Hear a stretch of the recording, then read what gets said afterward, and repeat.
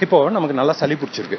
அதுக்காக ஒரு டாக்டர்கிட்ட போகிறோம் டாக்டர் வந்து தமிழில் மருத்துவர்னு சொல்லுவாங்க.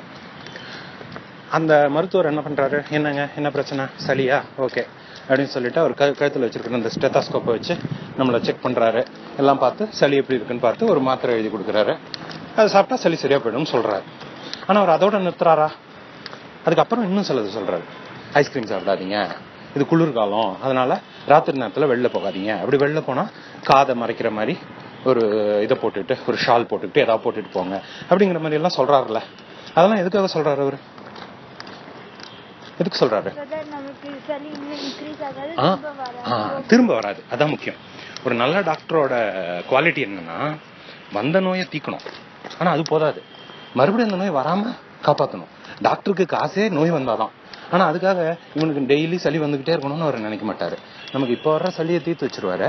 அதுக்கப்புறம் மறுபடியும் இன்னும் ஃபியூச்சர்ல சளி வராத மாதிரி என்ன செய்யணும் அப்படிங்கிற அட்வைஸும் அவர் கொடுப்பாரு. அதுதான் ஒரு நல்ல மருத்துவரோட பண்பு.